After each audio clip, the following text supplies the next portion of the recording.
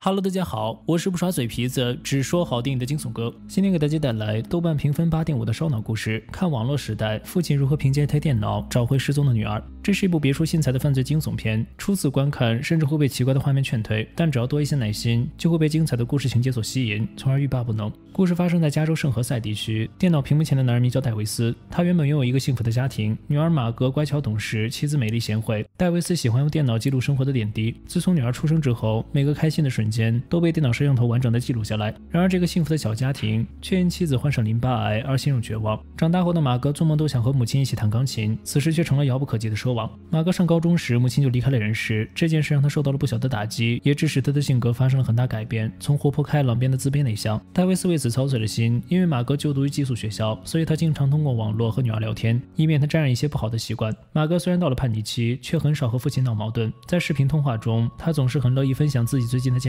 这天在聊天过程中，戴维斯发现女儿身处陌生的环境，于是便向她询问情况。马哥表示自己正在同学家里参加学校组织的学习互助小组活动，要等到明天上午才能回家。到时候就能和夫妻一起吃大餐了。刚刚结束女儿的通话，戴维斯就接到了弟弟彼得发来的视频。厨艺糟糕的彼得正在厨房里忙碌，之所以发视频过来，是想向哥哥求教秋葵炒菜的做法。看着一锅卖相凄惨的炒菜，戴维斯不仅皱起了眉头。但当他看到弟弟桌上摆着的围巾药时，更是火冒三丈。他询问弟弟什么时候开始接触这些药物，彼得急忙解释那只是风味蘑菇。可惜这些拙劣的谎言并不奏效。面对哥哥的一声指责，他只能乖乖承认自己在少量吸食违禁药。为了缓和气氛，彼得忽然问起了侄女马格的近况。戴维斯虽然觉得有些奇怪，可还是。把女儿刚刚告诉自己的事情分享给弟弟。此时，彼得家的门铃忽然响了起来。他提醒戴维斯把秋葵炒菜的菜谱发给他，随后就急匆匆结束了电话。此时的时间为二零一七年五月十一日。当天深夜，马哥给父亲连续拨打了三次电话，可由于戴维斯睡得太沉，并没有接到电话。直到次日早上七点，他再次给女儿拨回去，对方就一直处于无人接听的状态。戴维斯起初并未在意，直到下午三点多，他才终于感到一丝不安，因为今天是周五，马哥要照例去参加一堂钢琴课。戴维斯急忙给培训班老师打去电话，可得到的答复却让他大为吃惊。老师表示，马哥已经半年时间没有上过钢琴课了。戴维斯急忙查看和女儿的聊天记录，上面明确显示自己每周打给他的钢琴学费，女儿全部收取了。不久前还和自己讨论钢琴课，看来。女儿在说谎。联想到昨天凌晨女儿打来的未接电话，戴维斯内心隐有些不安。他给弟弟彼得发信息求助，对方却一脸轻松地表示，侄女儿一定是逃课出去玩了，不用太担心。问问他身边的朋友，或许就能知道他的下落了。戴维斯觉得弟弟的话很有道理，可令他为难的是，自己平日里对女儿关心不足，就连他身边究竟有几个朋友，他都一无所知。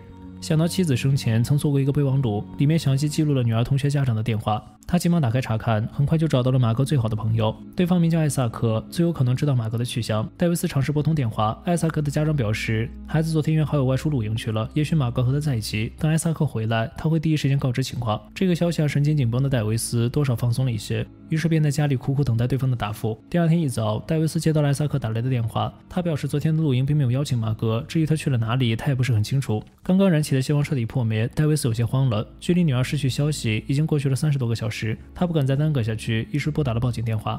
在漫长的等待过程中，戴维斯打开了本地失踪人口名录，发现通过警方成功找回的几率只有一半多一点。他的内心愈发的慌乱。此时所有的线索都已中断，他也只能依靠警方。不久后，戴维斯接到了一通电话，对方自称是联邦调查局的玛丽探员，刚刚通过接警平台得知马哥失踪，这起案件将由他全权负责。随后，玛丽开始询问戴维斯一些基本信息，包括马哥的年龄、样貌、身材等特征。戴维斯对此深感疑惑，自己明明在递交报警信息时已经讲述的足够全面，为什么还要重复询问呢？难道说这个警员并不靠谱？带着一丝疑惑，戴维斯一边回答对方提出的问题，一边通过网络渠道了解玛丽警官的身份。令他感到意外的是，这个名叫玛丽的女警探早已名声在外，不仅屡破奇案，还曾担任出狱犯罪互助会的组织领导者，帮助了不少失足之人重新回到正常的生活轨迹。网上的信息表明，玛丽警官的确是一位不可多得的好警察，这让戴维斯彻底打消了心头的疑虑，开始全力交代女儿失踪的细节。与女警结束沟通后，戴维斯注意到女儿的笔记本电脑竟然忘在了家里，或许从电脑里能够查到一些有用的线索。戴维斯迫不及待的开机。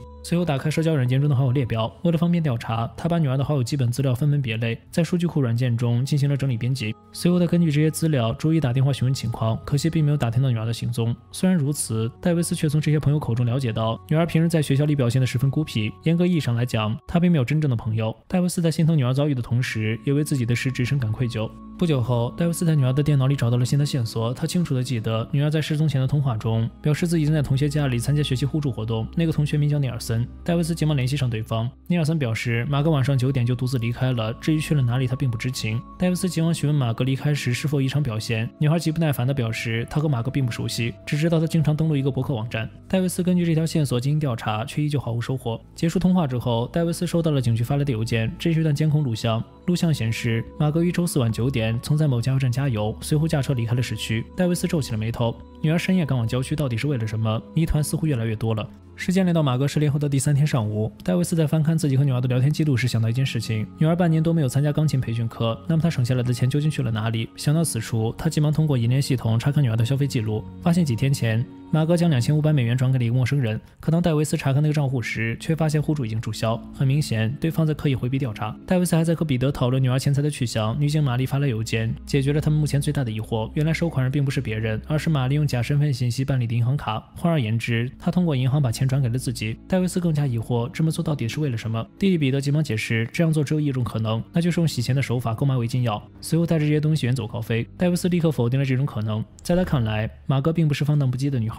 结束与弟弟。的通话之后，戴维斯打开了一个视频网站，女儿经常在上面传视频，或许在这里能有所收获。果然，在连续观看了几段视频之后，戴维斯发现，在女儿的账号下有一个署名为“炸薯条”的忠实粉丝，对方母亲身患重病，薯条一边上学一边在餐厅打工。戴维斯发现这个女孩的遭遇跟马格很像，也许是马格出于同情出钱帮助了这位粉丝。戴维斯把自己的发现告诉了警探玛丽，他很快找到了那位网名叫“薯条”的粉丝，并且声称自己已经详细调查过了。薯条是个穷苦的餐厅服务员，他与马格的失踪并没有有任何联系。调查不断受阻，让心情糟糕的戴维斯愈发抓狂。他意识到自己太过心急，可能在调查方向上出现了问题，于是就准备关掉电脑休息片刻。就在这时，他无意中发现，在女儿拍摄的短视频里，一个野外的小湖经常出现在背景之中。戴维斯似乎抓住了救命稻草，于是根据目前掌握的信息，成功锁定了那片区域。女儿手机关机的位置也恰好在小湖的附近，这里极有可能隐藏重大线索。虽然时间已经到了深夜，但寻女心切的戴维斯却管不了那么多了，连夜开车来到了小湖边。经过一番寻找，果然在一处不起眼的地方发现了女儿的钥匙链。也就是说，马格失踪前一定来过这里。戴维斯的努力没有白费。第二天一早，警方就在湖底将马格的车打捞了出来。庆幸的是，没有发现马格的尸体，因为车内有打斗痕迹，所以警方初步判断这有可能是一起绑架案。随着汽车被打捞上岸，越来越多的人开始关注马格失踪一案，各路媒体闻讯而来，争先恐后的对整个调查进展展开报道。除此之外，也有许多志愿者参与了马格的搜救活动。由于当天天降暴雨，所以搜救行动不得不推迟进行。随着关注度持续增长，戴维斯也陆续收到了不少电子邮件，只可惜其中大多数都不是。什么有价值的线索？与此同时，马格的个人直播间也变得空前火爆。戴维斯注意到，有人为了博取眼球，声称戴维斯就是杀害女儿的凶手。更有甚者，直接造谣马格行为不检点，并且声称他并未失踪，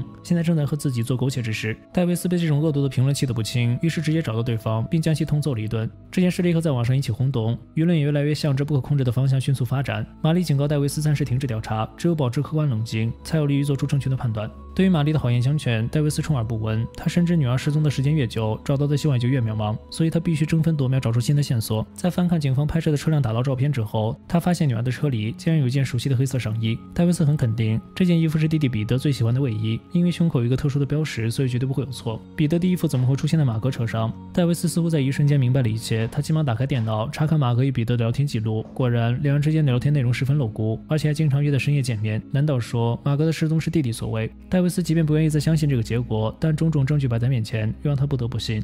满腔怒火的戴维斯带着监控探头来到弟弟家，一方面找他问清楚情况，除此之外，他还需要搜集一些证据。面对哥哥的质问，彼得显得有些无所适从。直到戴维斯准备对自己动手，才不得已交代了实情。原来侄女马格染上了药瘾，每隔一段时间就会找他帮忙买药，他们之间并没有任何不伦之事。戴维斯听完正准备发火，彼得却开始反过来质问哥哥：“你知道马格需要什么吗？你知道他为什么不喜欢上钢琴课了吗？因为他一听到琴声就会不自觉地想到他死去的母亲。你只顾自己的工作，却忽视了孩子的成长。”戴维斯被弟弟骂得哑口无言。作为父亲的他。的确没有做到尽职尽责。就在兄弟俩互相埋怨之际，戴维斯收到了玛丽打来的电话，对方声称凶手已经找到，并且还发布了一条认罪视频。戴维斯急忙查看，却得到了一个令他无比震惊的消息：视频中的中年男子声称自己谋杀了玛丽，对此深表抱歉。为了免于牢狱之灾，他打算自我了断。视频到此戛然而止。警方也在第二天举行了新闻发布会，因为凶手自杀死无对证，所以失踪案被认定为谋杀案。虽然尸体仍未被找到，但这并不影响警方进行结案处理。戴维斯虽然不愿意相信女儿已死，但却不得不接受这个残酷的现实。他打开殡仪馆的网站，准备为女儿筹划一场体面的葬礼。可当他看到网站封面的广告人物时，却惊讶地发现，广告模特竟然和女儿直播间里的忠实粉丝薯条极为相似。他急忙用图片搜索进行检索，发现这位薯条的真实名字叫做戴安娜，是一位小有名气的职业模特。戴维斯立刻联想到，玛丽曾告诉过他，他已经调查过薯条了，并且职业是一个餐厅服务生。结合现在掌握的信息，很明显女警探在说谎。她为什么要在这件事情上欺骗自己？戴维斯急忙打电话给警局，却无意中得知是他主动请缨接手了马克的案子。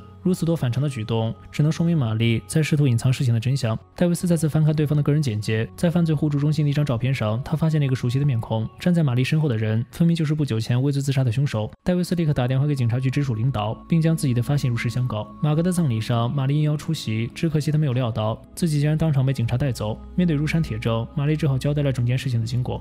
原来玛丽的儿子罗伯特暗恋马格很久，他冒用模特戴安娜的头像，在马格的直播间里疯狂刷屏，并成为他的最忠实的粉丝。为了博取马格的注意，他还为自己创设了母亲重病、自己勤工俭学的人设。罗伯特没有想到马格信以为真，竟然把自己积攒下来的两千五百美元学费如数寄给了他。意识到自己有些过火，于是罗伯特尾随马格的车辆，准备找机会和他实话实说。只可惜他找的时机并不太好。马格到山崖上吸食违禁药，罗伯特的坦白将他彻底激怒。在争执过程中，罗伯特失手将他推下悬崖。玛丽在得知儿子闯祸之后，主动请缨。接手了马格的失踪案，为了帮儿子掩盖罪行，他还特意找了个替罪羊以此谢罪。不过人算不如天算，再缜密的犯罪手法也有疏漏的地方。正是戴维斯的细心，让真相浮出水面。警局方面忙着调查玛丽母子两人，救援队则开始在玛丽坠落的山崖下展开拉网式寻找。幸运的是，马格坠崖后只是受了重伤，在没有水和食物的情况下，他坚持到第四天已经是极限。第五天的大雨让他补充了少量淡水，这才让他坚持到救援队来临的那一刻。马格最终获救，作恶之人也得到了应有的惩罚。故事至此结束。电影《网络迷踪》上于2018年，由安妮什·查甘地执导。该片拍摄手法新颖，剧情引人入胜。不同于传统的悬疑推理电影，导演将所有细致入微的线索都通过电脑屏幕呈现在观众面前，让我们同男主人公一样，通过筛选这些信息，从而一步步接近真相。也许这正是该片的魅力所在。电影《网络迷踪》有着浓厚的时代特征，在信息飞速发展的今天，人际关系、情感联系，包括社会生活，都与互联网息息相关。电影为我们呈现了它强大的一面，同时也揭露了它的某些短板，例如篡改信息和网络暴力。惊悚哥提醒大家，身处谜一般的网络世界，要更加注重个人信息的保护。对于这部拍摄手法先锋、另类的悬疑推理片，你有什么看法呢？欢迎在评论区里留言讨论。好了，本期视频到这里就结束了，谢谢大家一如既往的支持，咱们下期再见。